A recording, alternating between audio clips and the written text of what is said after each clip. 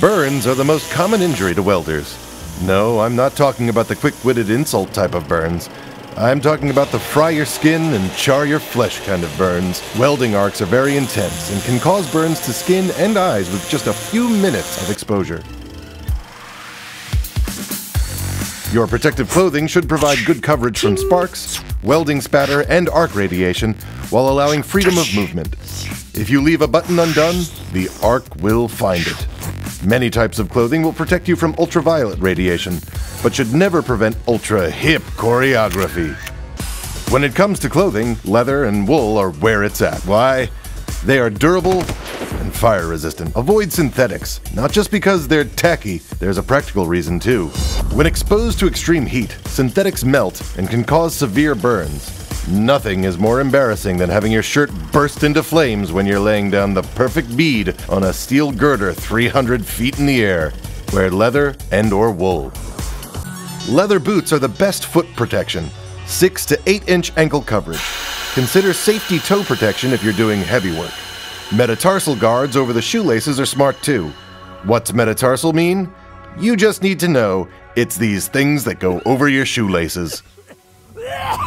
Fashion tip don't roll up your sleeves or pant cuffs. Sparks or hot metal can get caught in the folds, and while that's a great recipe for some hilarious physical comedy, it's also very dangerous.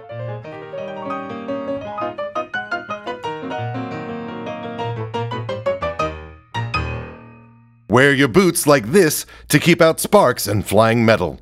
Not like this, not like this, and definitely not like this. Like this. Gloves. They're like five legged pants for your hands. Leather is the best material to protect you from burns, cuts, and scratches. And if they're dry and in good condition, they'll offer you some insulation against electric shock. Working with sharp metal? Look into cut resistant gloves. Oh, yeah, they're for real. Let's finally get to the reason you're becoming a welder the helmet. Not only do they look super cool, they are essential to protect your eyes from radiation exposure and your face and neck from burns. You've got your infrared radiation, which can generally be felt as heat, and your ultraviolet radiation, which can't be felt and is therefore all the more dangerous. Infrared radiation can cause retinal damage and cataracts. Ultraviolet radiation can cause welder's flash, which can result in extreme discomfort, swelling, fluid excretion from the eyes, and even temporary blindness. I know it's tough to look at, David, but it's important for you to see this so you'll be prepared to protect yourself, because the worst part is, you might not even know you've got welder's flash for several hours after exposure. Welding helmets have a variety of shaded lenses to protect your eyes from infrared and ultraviolet radiation, as well as visible light from the arc, which can hurt your eyes in the same way that staring into the sun can. Many helmets these days have auto darkening shades. Read those instructions carefully to figure out how to set that up properly. With other helmets, you can change the protective lens depending on the type of welding you're doing. The general rule is find the lens where it's too dark to see the arc clearly, then back up one level to the next lighter shade. Shielded metal arc welding with a small diameter electrode generally requires protective shading of 7 and up, while processes like carbon arc welding require protective shading as high as 14. Read all the safety warnings and guidelines to make sure you're being properly protected. Repeated exposure to UV radiation can cause permanent eye damage and skin cancer. Like getting a sunburn, this happens slowly over time, and you won't always know you're being overexposed because you can't see or feel the UV rays. Contact lenses should be fine, but do your homework. Talk to your ophthalmologist and company medical staff. And you know what? Probably don't wear contacts in really dusty environments or where there's danger of chemical splash or exposure to corrosive or organic solvent vapors. Safety glasses are a great way to look smart and appear as though you know what you're doing. They also offer extra eye protection. Protect your ears with earplugs or ear muffs. This keeps flying particles from damaging the inside of your ear and protects your hearing. Prolonged exposure to loud noise can cause hearing loss, so if the noise level is painful or loud enough to keep you from hearing your colleagues speak at conversational volume, you need ear protection.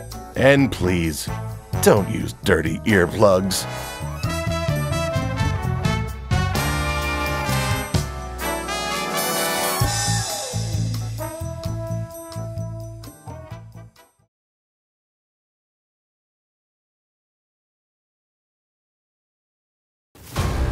When airborne contaminants are present.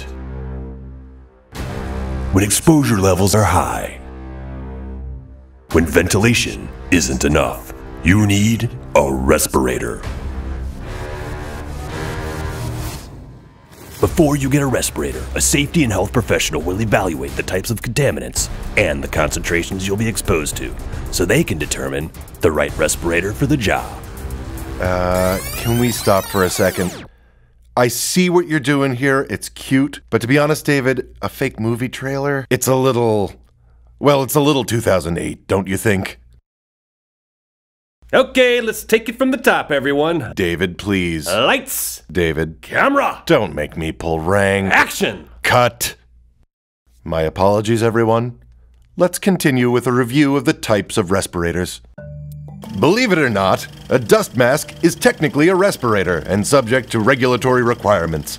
It's easy to use and disposable, as its functionality diminishes over time when it's being used. David, really, this is important material.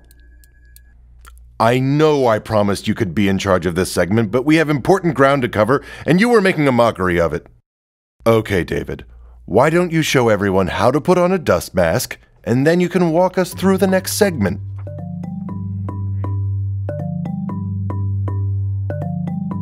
Disposables can only remove airborne particulates and are categorized as such.